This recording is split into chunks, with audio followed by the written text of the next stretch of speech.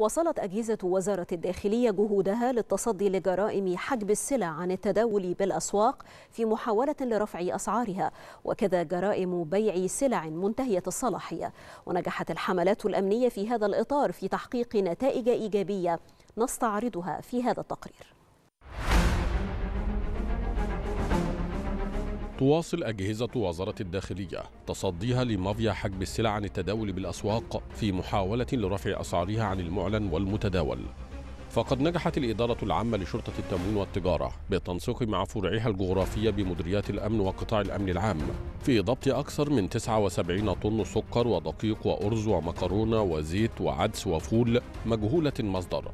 قام ثلاثة من مالكي ومسؤولي ثلاثة مخازن للسلع الغذائية بدون ترخيص بالقليوبية والدقهلية بتخزينها لحجبها عن البيع والتداول بالأسواق لرفع أسعارها وتحقيق أرباح غير مشروعة من وراء ذلك. كما تمكنت الإدارة من ضبط 170 طن دقيق أبيض مجهولة المصدر وغير معلن عن أسعارها بحوزة مسؤول مطحن للحبوب بالمنوفية. قام بحجبها عن التداول والبيع بالأسواق لبيعها بأزيد من السعر المتداول.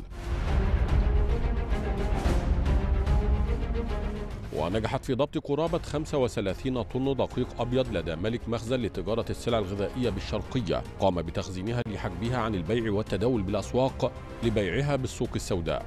وضبط 13 طن ونصف دقيق أبيض معبأ داخل عبوات مجهولة المصدر وغير معلن عن أسعارها.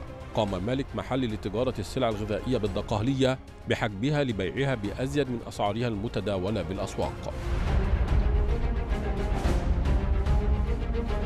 ومع تواصل الحملات الأمنية للتصدي للمتلاعبين بالأسعار تمكنت الإدارة من ضبط قرابة 122 طن سكر ودقيق وأرز ومكرونة مجهولة المصدر بحوزة مالك مخزن بالقليوبية قام بتخزينها لرفع أسعارها وبيعها بأزيد من السعر المتداول. كما تمكنت من ضبط أكثر من 77 طن سكر ودقيق وأرز ومكرونة مجهولة المصدر تم تخزينها لحجبها عن التداول بالأسواق بحوزة مالك مخزن سلع غذائية بدون ترخيص بالقليوبية بهدف بيعها بالسوق السوداء.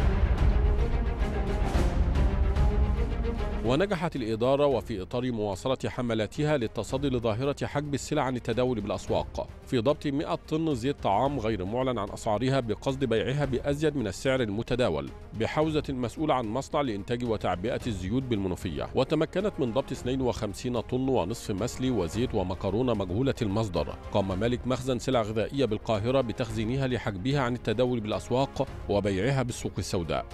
واستطاعت الإدارة ضبط 70 طن مكرونة بدون مستندات مجهولة المصدر. قام مسؤول عن مخزن لتجارة السلع الغذائية بالأقصر بتخزينها لبيعها بأزيد من السعر المتداول بالأسواق.